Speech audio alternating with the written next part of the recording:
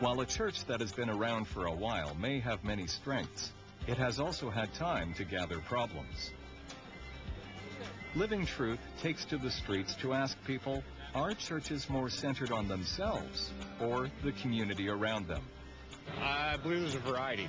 Uh, some churches are very, I don't know if you'd say inward looking, but uh, they stick to the traditions of their church, and there are some that are maybe uh, more outward looking, reaching out, or maybe looking for a new mission to fulfill.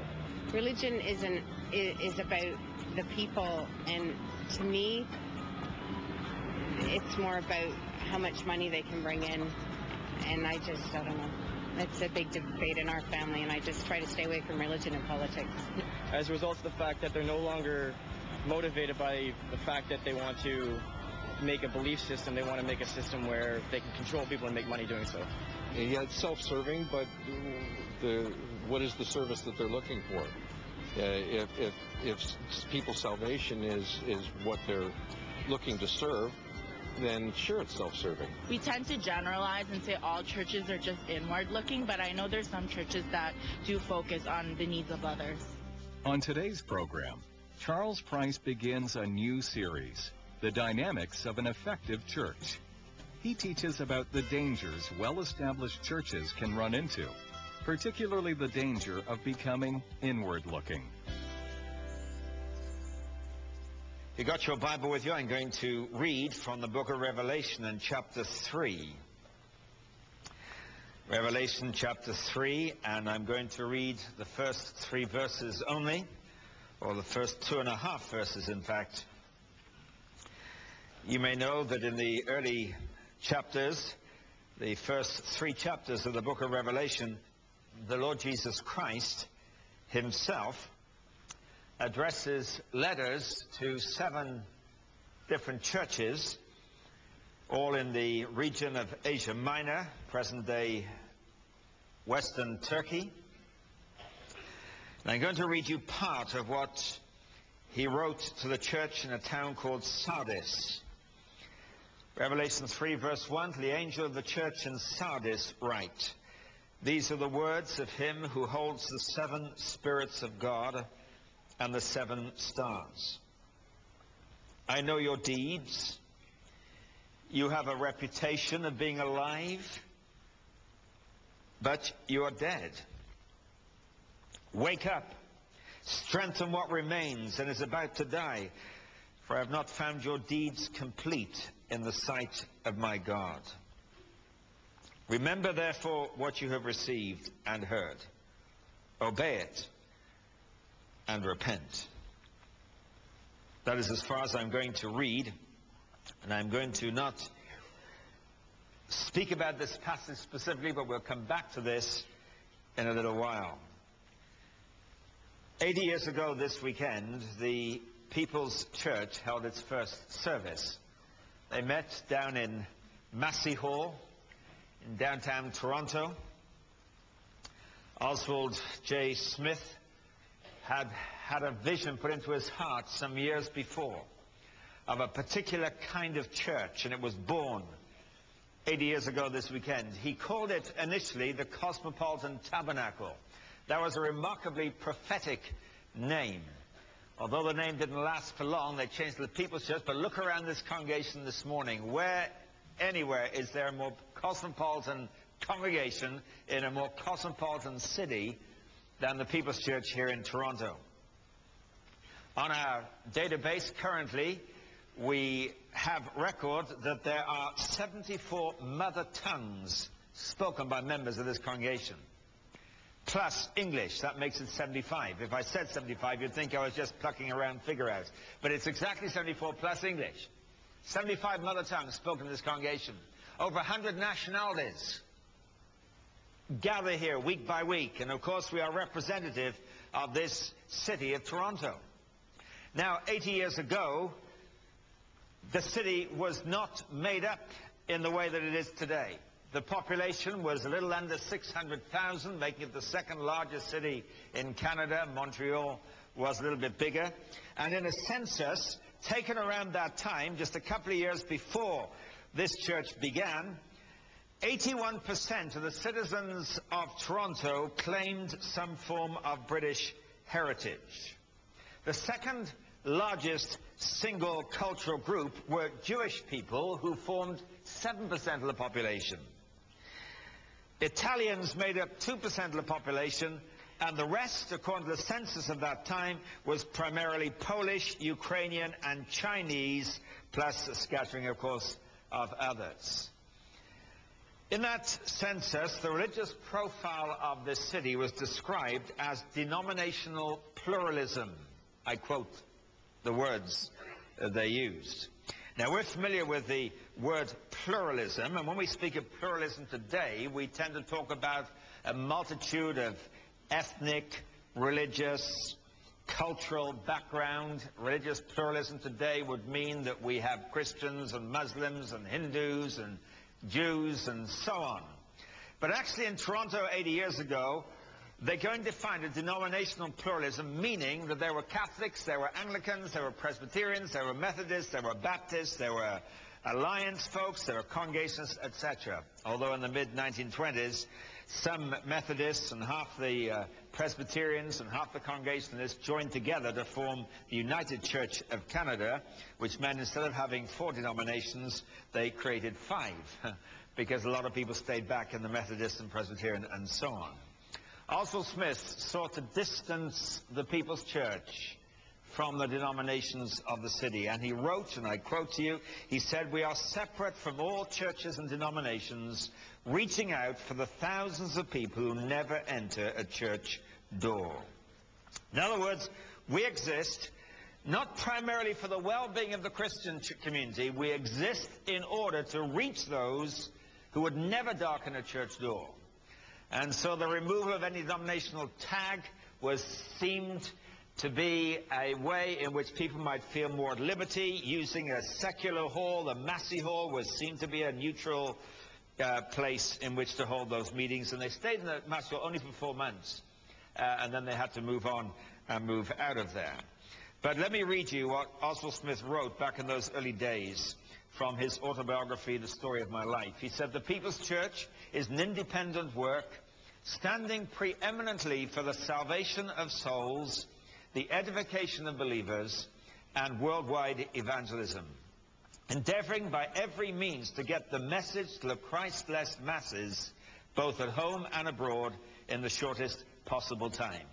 We believe in an unmutilated Bible, meaning and particularly in their, his day, in that day, when there was a whole modernist movement that was tearing the scriptures apart, we believe in the entire scripture as being the revelation of God, and therefore authoritative. So we believe in an unmutilated Bible, salvation through the blood of Christ, entire separation from the world, victory over all known sins through the indwelling spirit, rugged consecration to sacrificial service, practical faith in the sufficiency of Christ for spiritual, temporal, and physical needs, the purifying hope of the Lord's return, and a burning missionary zeal for bringing back the King through world evangelization.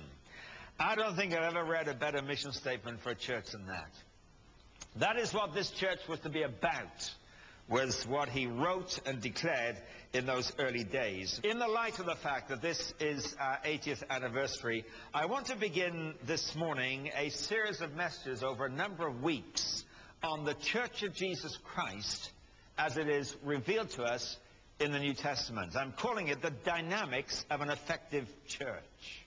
And I want to begin today by talking about the dangers of a mature church. And by mature, I don't, of course, mean spiritually mature. I mean chronologically mature. That is, a church that's been around for a long time.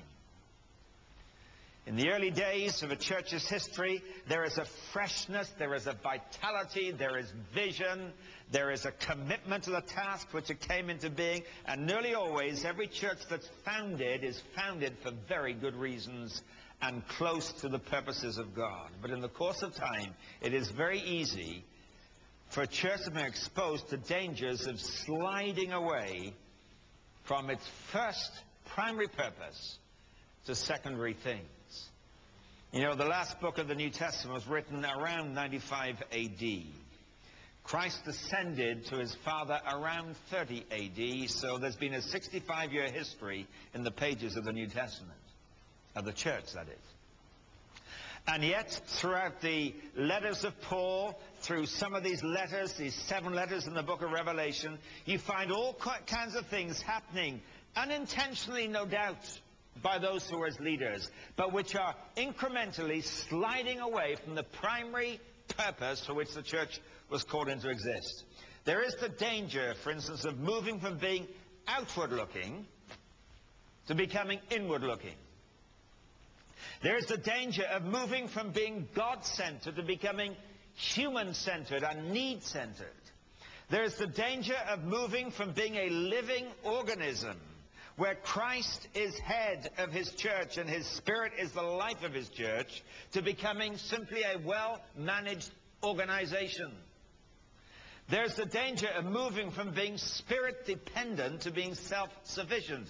There is the danger of moving our thinking from biblical revelation as the authority and sufficient authority for the Church of Jesus Christ to relying on human reasoning and filtering revelation through reasoning so that reason becomes the criteria. We need to be reasonable about Scripture, of course. We use our reason, but we submit our reason to its revelation. And I could point to you in the letters of the New Testament and here in the early part of the book of Revelation to all of those things I've mentioned, it would be too tedious if I identified them all and which churches had which problem, but they're all there in the New Testament church. And therefore, we would be unwise to not know that these temptations are here also. And I want to look at one of these things. I was planning to look at several, but in the first service this morning, I only got through one, so we'll just say one and stick to one. And the danger that exists of moving from being outward looking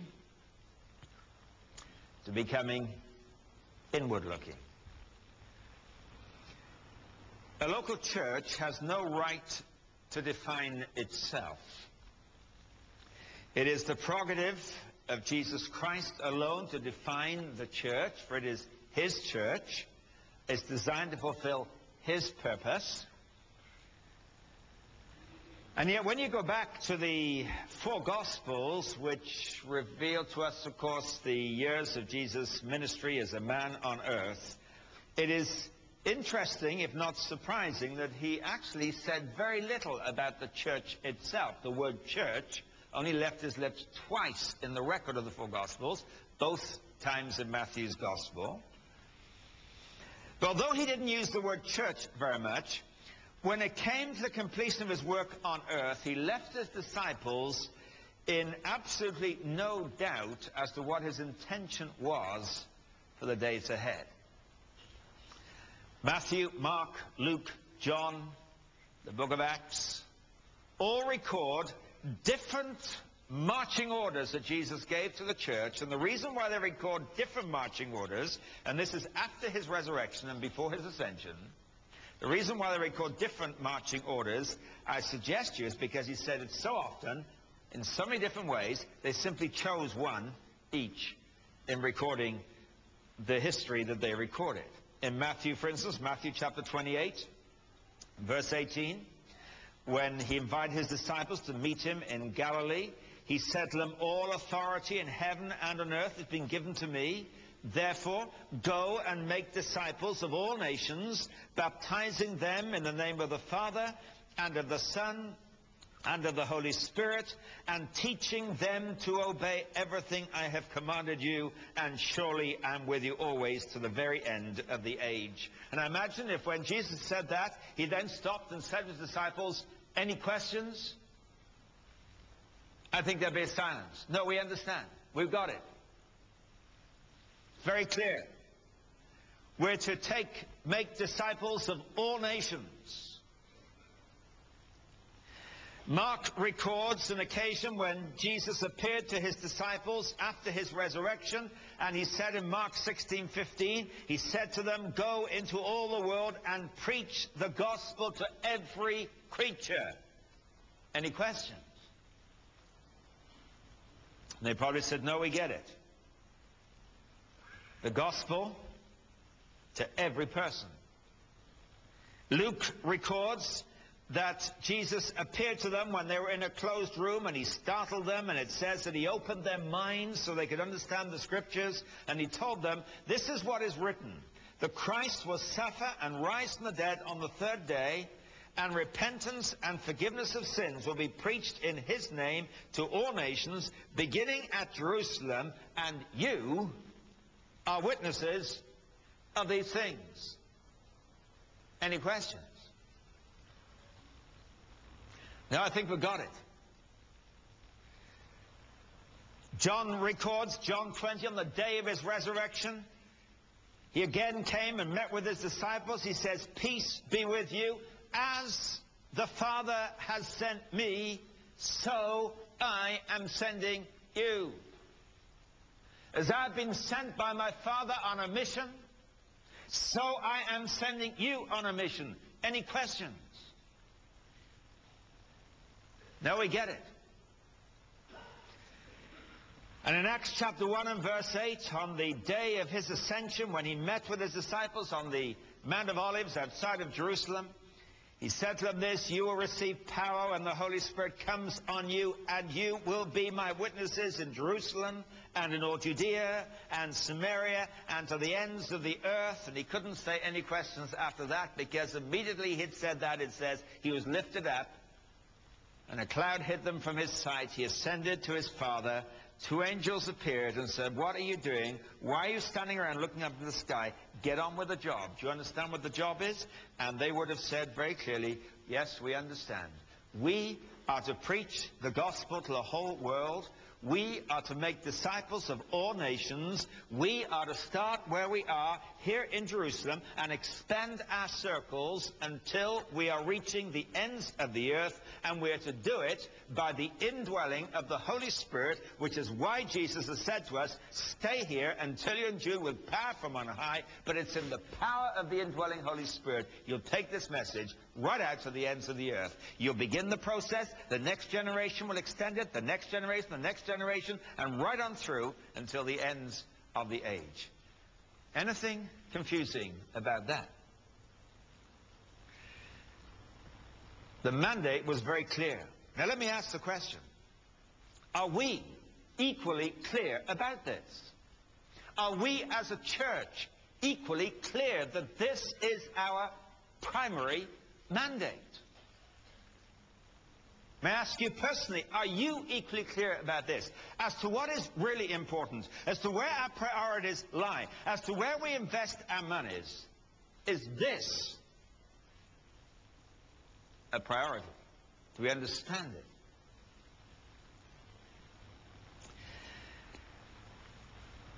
Now, there are three responses we can make to a command like this. We can say, firstly, I can't do this.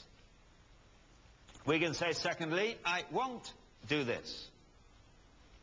We can say, thirdly, I will do this. Let me just comment briefly on that, because every one of us responds in one of those three ways. I can't think of a fourth response. I can't, I won't, or I will. Now, you may, of course, be here this morning and say, well, I've actually not really thought about this, which is reasonable enough. Some people in the business of life don't stop to think about some of these things. Uh, but that, if that is your response, that comes to an end this morning. Because we are going to think about this. Now, the most common response is, I can't. The task is so big, I am so little. There are people who are a lot more able than I am. I don't think I've made much difference anyway.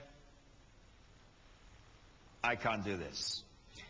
You know, the interesting thing when you read through the scripture is that this is an extremely common response to the commands that God gave to people. Abraham, I'm an old man. My wife is as good as dead. Her womb is dead. You're talking about us having a son?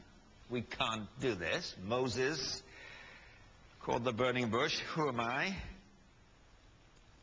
I can't do this. Joshua, I can't do this. David, I can't do this. Jeremiah, I can't speak, and you've called me a prophet. And we could go through so many, many, many people in the scripture who came to this point of saying, in effect, I can't do this. Peter in the New Testament. We get tongue-tied. We don't know what to say. This used to be my excuse when I was first a Christian. I, I was basically shy, introverted. I couldn't do anything in public. At school, we had a debating class uh, when one student would put an argument for uh, a motion, another one would oppose it, and everybody was supposed to do this. I was exempt because I couldn't stand up publicly and articulate myself in front of people, so I was exempt from taking part in that. I didn't take part in drama. I, I couldn't act. I still can't act. Um, but uh, I had every excuse. I can't do this. It is true, of course, we all have different roles and gifts, and we're going to talk about that in a few weeks' time. We're not all evangelists. There is a gift of the evangelist, which is not necessarily a gift of preaching, but there is that gift. There's some people I admire tremendously who have that gift of coming alongside, alongside folks and just, just leading them to Christ. And some people seem to have a gift of that. When I was at Capernwray, we had a student from Egypt who, who was a gifted evangelist, and he, he would lead people to Christ in all kinds of situations where people like me would never even begin to get into a conversation. I remember one day I, I was with him and a team of students. We were doing an outreach, actually. Uh, we were doing something, and we sent him to get some fish and chips for lunch from a local fish and chip shop. And he came back. took him a while because the line was long. And, and, and when he came back, he said, hey, it was a long line, but it was great. I led the person in front of me to Christ. I said, what do you mean that the person of you to Christ? He said, well, we, we, were talking in the fish and chip line, and I said, what are you doing? So I'm buying fish and chips. Why do you want fish and chips? Because I'm hungry. Why are you hungry? Well, because it's lunchtime. Uh, what's going to happen to the fish and chips? Well, I'm going to eat them. Um, what's that going to do for you? It's going to make me strong. Uh, why do you want to be strong? Because I want to live. Why do you want to live? Well, because I'm alive. Uh, how old are you? I'm 22. Okay, well, how long do you want to live for? Oh, I don't know, until I'm an old man. What's the point of your life anyway? I never thought about it. Well, you better think about it. Um, and what are you going to do next when you finish this life? Well, I've never thought about that either. Well, I think you should think about it because actually there's four people in front of us still. Let me tell you, you were born for a purpose. You were born, etc., etc. And he led the guy to Christ. Now, I, I, was very cynical and I sort of said to him, are, you sure? He said, yes, he's going to come to the meeting tonight. We're having a week of meetings, you see, a team of students. And sure enough, he came that night. Well, I admire that. I would have just sat there thinking, why is this fish and chip line so long? I want my fish and chips, you know. I never thought about the philosophy of buying fish and chips in order to feed your body, to keep yourself alive. For what purpose? I don't know.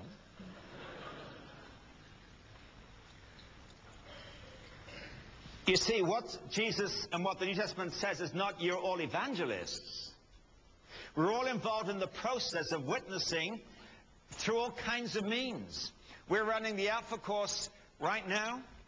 I'll start again next week, and uh, if you've never been through it, I'd love for most of us to go through it and get involved in there. But you know, there are people who are involved in the Alpha course who spend time in a hot kitchen preparing a good meal. They're not evangelizing in the kitchen. They're just giving a nice meal to people who are going to be in an environment where they're going to listen to elements of the gospel, engage in discussion, and some of them in the mercy of God, are going to come to know Christ for themselves. Do you think the folks in the kitchen are part of that process? Of course they're part of that process.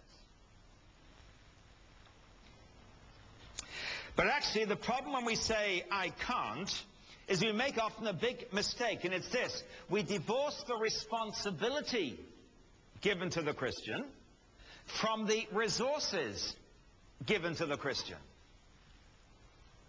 You see, the responsibility, as in Matthew 28, is go and make disciples of all nations. But don't take that out of its context, because in the context it says, Jesus said, all authority in heaven and earth has been given to me.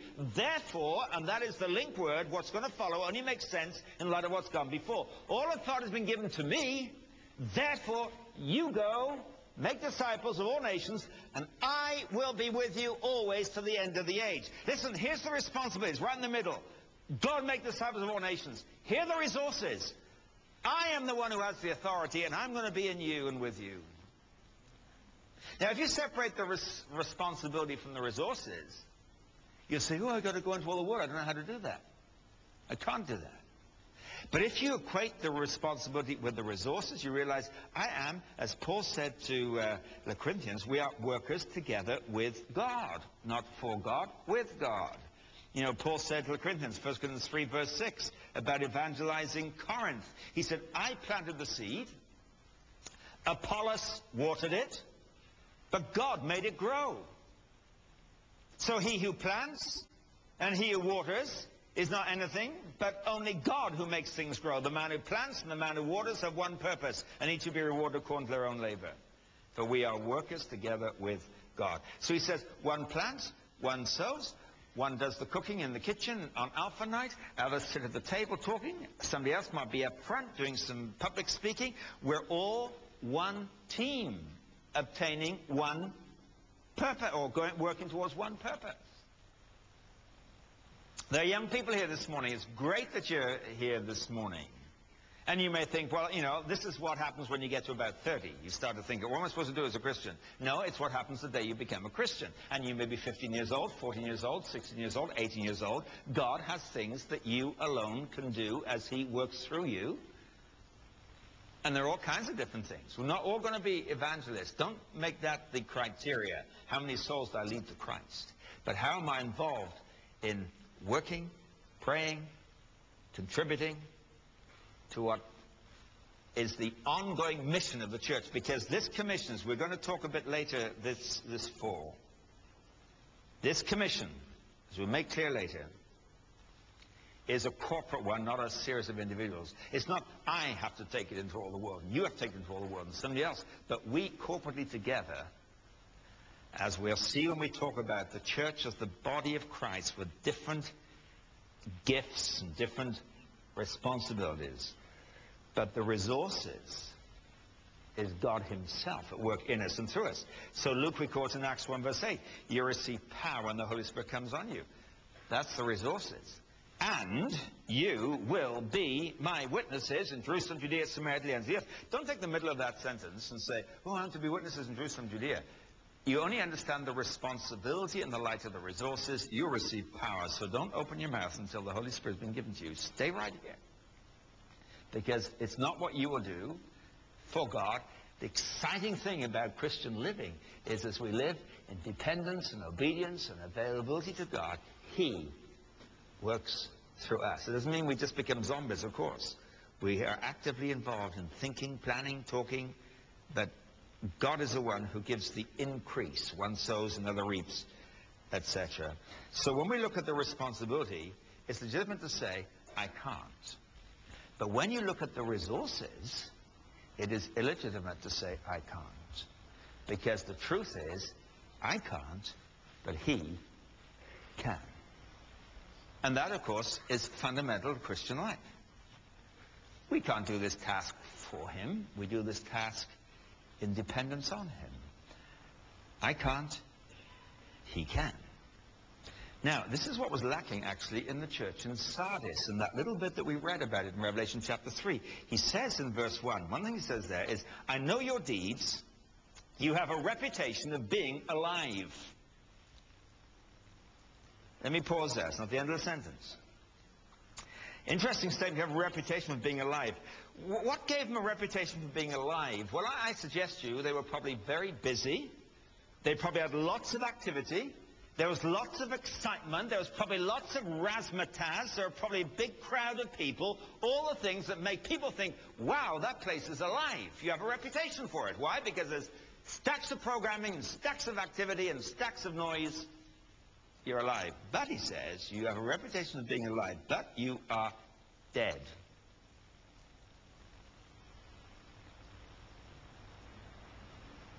What does it mean to be dead? Well, death is simply the absence of life. That's probably a definition of death. I don't know if it's a, if it's a scientific definition of death, but a doctor attending to someone who may be dead doesn't look for death, he looks for life.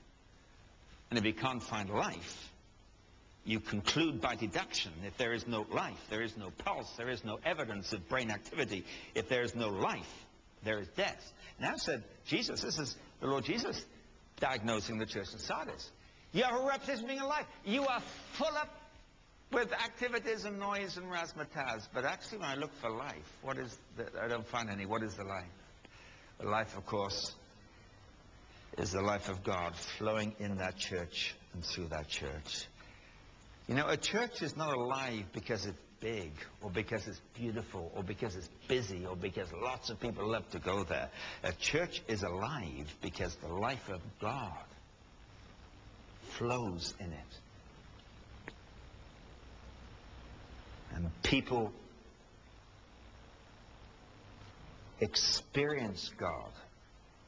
There are things going on that are inexplicable apart from the fact God is doing it. There are things you cannot explain in terms of personalities or in terms of gifts or in terms of programs. We try to put those explanations on things. But it's the life of God. And here in the church in Sardis, he says, hey, you have a great reputation. Man, people coming to Sardis say that's the church to go to because it's got a great reputation. A reputation of being alive nonetheless. But the reality is you're dead. Why? Because you may have taken the responsibilities seriously, but you've divorced them from the resources. It's become a human operation. It's become an organization, well managed, well planned, well functioning, rather than a living organism where the life of Christ is operating. How do you explain the church in the book of Acts? It was an exciting time, of course.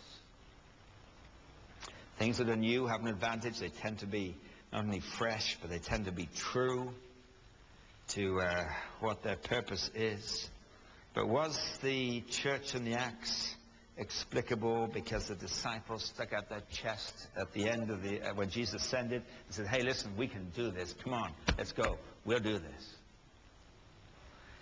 Do you know, when you look at the three years the disciples spent with Jesus, one of the things he was doing over those three years was increasingly exposing to them their weakness and their frailty. That's why at the end, the climax, when Jesus is crucified, they've all run away. They've all hidden. Peter is utterly ashamed of himself. He has denied him and cursed and sworn about it. The others are behind locked doors. And when Jesus appeared, he rebuked them for their lack of belief. I mean, this is a bunch who've been reduced to a conclusion of the end of Jesus' three years with them. I am weak. And of course, that is the process we have to come to. That's why I wait in Jerusalem. It's not out of your strengths. We do have different strengths and gifts, but it's out of a sense of utter dependence because I know the bankruptcy of my own heart and my own life. And so when Paul, in the book of Acts, comes back from his missionary journeys, he, he reported back on several occasions. In Acts 14.27, after his first journey, he came to Antioch, which was the church that had sent him out. And it says on arriving there, he, they, that is he and Barnabas, they gathered the church together and reported, listen, reported all that God had done through them and how he had opened the door of faith to Gentiles. Did they come back and report what they had been doing for God? No. They came back and reported all that God had done through them. Then they went down to Jerusalem, Acts 15 verse 4. When they came to Jerusalem, they were welcomed by the church and the apostles and elders to whom they reported everything God had done through them. Who had done it? God had done it through them. Then there was a meeting in Jerusalem to discuss the reception of Gentiles. And it says at one point, Acts 15:12, the whole assembly became silent as they listened to Barnabas and Paul telling about the miraculous signs and wonders God had done among the Gentiles through them. God through them. Acts 21:19 after his third missionary journey, Paul came to Jerusalem. He greeted them and reported in detail what God had done among the Gentiles through his ministry. Do you notice the recurring message he's bringing back? I want to tell you what God has done through us. God through us. God through us. So much so in Romans 15 verse 18, Paul said, I will not venture to speak of anything except what Christ has accomplished through me. in leading Gentiles to obey God by what I've said and done. Now, this is what makes the church alive. What makes a church alive is not its activities, it's not its programs, it's not its bigness or smallness. There's no virtue in either. What's made the church in the book of Acts alive is it is God through them, God through them, God through them. And I have nothing to talk to you about, says Paul, except what Christ has done through me. Boy, that takes the pressure off, I tell you.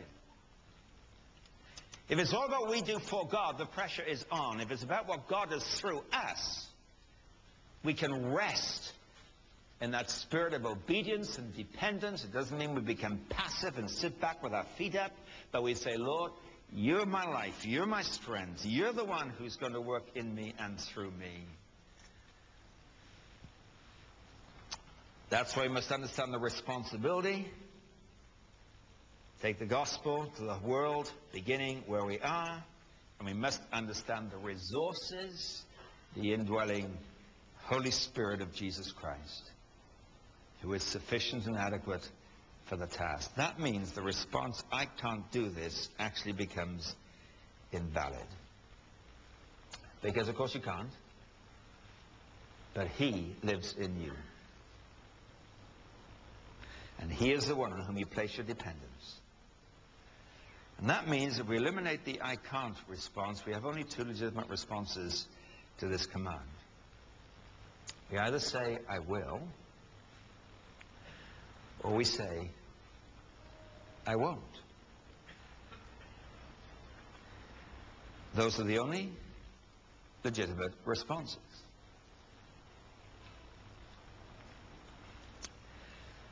Now, my friend Stuart Briscoe says, if you motivate people, you must also mobilize people, otherwise you frustrate them. Hmm. And that is very true. Although sometimes when you mobilize people, you motivate them because the mobilizing motivates them. Hmm. Getting involved gets you excited. But getting excited without getting involved will only frustrate. And we're talking not just about the program and activity of a individual church. We're talking about what must be bigger than that, a lifestyle that when you're in your workplace, in your home, you're saying, Lord, what is it you want to do in me and through me? Because here's the danger of a mature church, a chronologically mature church that's been around for many years, that we stop looking outward and we become very comfortable and it becomes almost a religious club that we become part of and we're just looking for our own needs. I've heard people say to me about this church, it doesn't meet my need. Well, I understand that because there are needs that we have personally. But our vision has to be something bigger than that. You know, there is, of course, ministry to the church itself. In Acts 2, when the church was born, in Acts 2.42, it says, they devoted themselves to the apostles' teaching, to the fellowship, to the breaking of bread, and to prayer. Now, those are four things that are, are, are, fundamental to an effective church. Coming under the teaching of the Word of God, which is described there as the Apostles' teaching. We have the Apostles' teaching in our New Testament scriptures. So the fellowship, the mutual building up of one another, the breaking of bread, participating in prayer. That could either be the Lord's Supper. It could be simply breaking bread as in fellowship, but probably it's the Lord's Supper. To prayer and evangelism isn't specifically mentioned, but don't read that verse and take that as context without realizing that evangelism was the end result of this. Because it goes on to say that every day they continued to meet together in the temple courts, and they broke bread in their homes and ate together with glad and sincere hearts, praising God and enjoying the favor of all the people. Here's the result. And the Lord added to their number daily those who were being saved. So the right and proper feeding of the people of God, the right and proper opportunities for the fellowship of the people of God, for the friendships of the people of God, for the sense of belonging, for the sense of, uh, of meeting together and being enriched by one another, sharpened their evangelism. It did not become a substitute for their evangelism. Because out of this flowed strength and a cutting edge. And I want to say to you that we on the pastoral staff of this church and those on the board of this church are looking together hard at this whole issue. How is it that we can be an effective evangelistic church? How can we be more effective as a missional church? Now, the word missional may be a new word to some of you. It's been around for a little while. But missional simply means that mission is why you exist, and mission is what you're doing and becoming missional. The New Testament church was a missional church. It was driven by its mission. Its eyes were outward. And we have a wonderful advantage in this church because we have the heritage of this church being founded for the purpose of reaching citizens of the city with the gospel of Jesus Christ and then across the world through missionary outreach. And if we're not a missional church, if we're not on track with the Lord Jesus Christ, we may have a reputation of being alive. But like the church in Sardis, where it really matters, where the diagnosis really is important, we are dead. And that was the diagnosis of the Lord Jesus, of a church that looked alive. And over these next weeks, as we look together as to what exactly is the church, in the New Testament? How is it designed to function? How is it supposed to be led? And what is leadership supposed to be doing?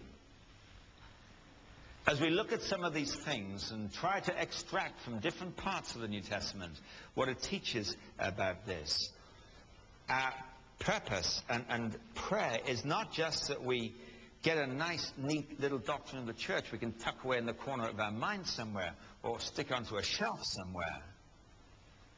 But the we as a body of hundreds and hundreds and of course thousands of people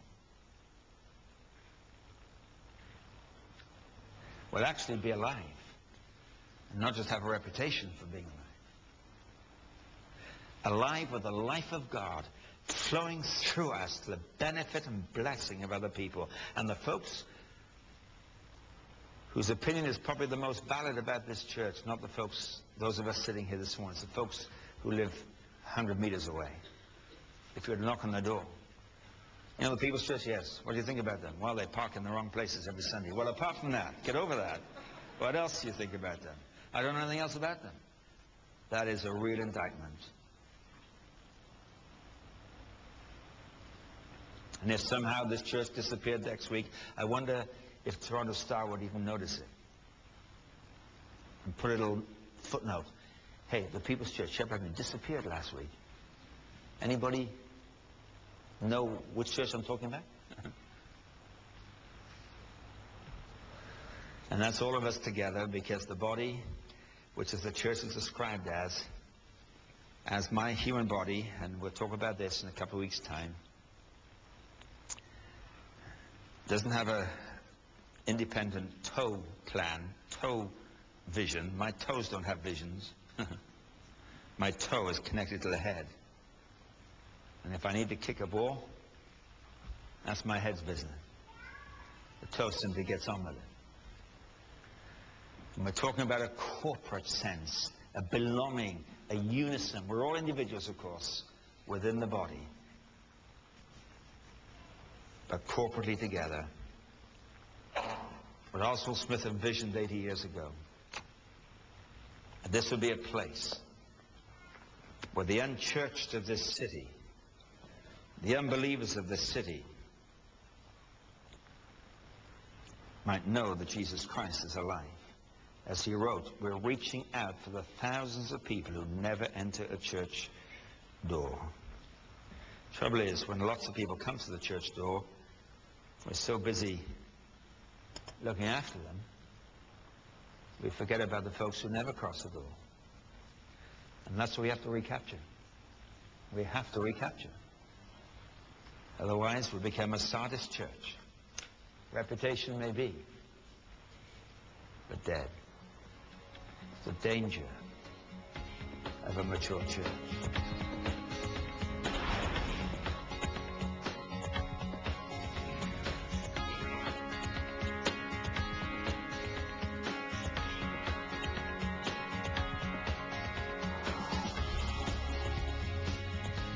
Thank you for joining Charles Price on Living Truth. Join us next week when Charles Price teaches about the church as a body of Christ.